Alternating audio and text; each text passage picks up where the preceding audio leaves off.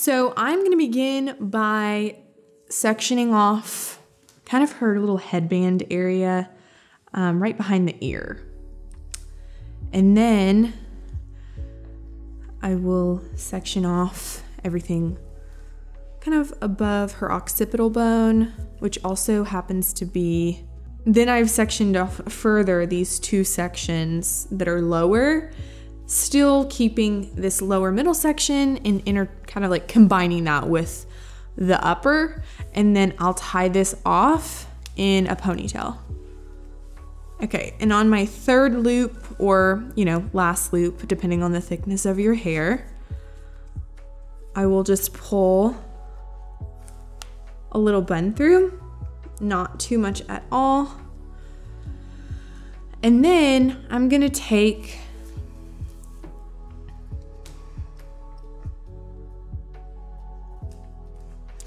the two lower sections I'm gonna fl like flip it through one another. Kind of tie it softly there. And then I'm gonna take a French pin.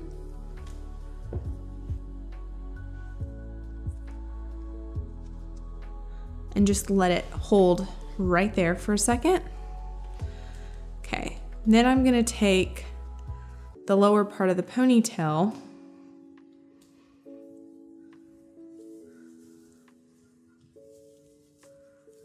kind of softly twist it and then tie another little half knotty knot, whatever you want to call it.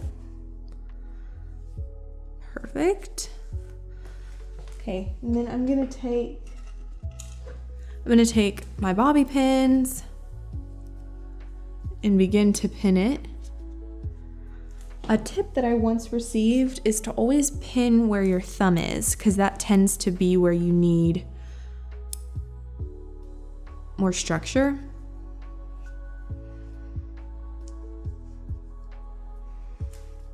Okay, now I'm gonna pull her crown out a little bit now that it's secured. Give her some nice volume. The best way to keep an updo from looking frizzy is to smooth it as you build it up.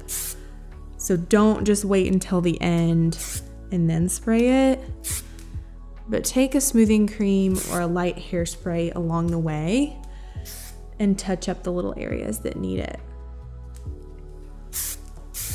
Now I'm going to incorporate the front two pieces that we left out and you can still leave some little front pieces, like her little wispies out, um, just to add that really effortless look. Um, but I'm just gonna simply twist these back and I'm gonna pin kind of in the crook of the twists so that it hides the pin.